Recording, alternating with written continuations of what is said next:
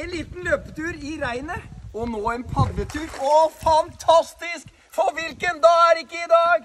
I dag er